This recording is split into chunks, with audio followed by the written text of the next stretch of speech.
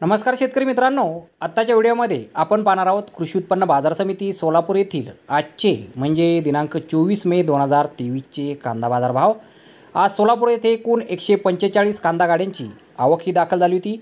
त्यामध्ये सुपर गोळा साईज कांद्याला एक हजार तीनशे रुपयांपासून एक हजार चारशे रुपये क्विंटलपर्यंत आज बाजारभाव हा मिळालेला आहे.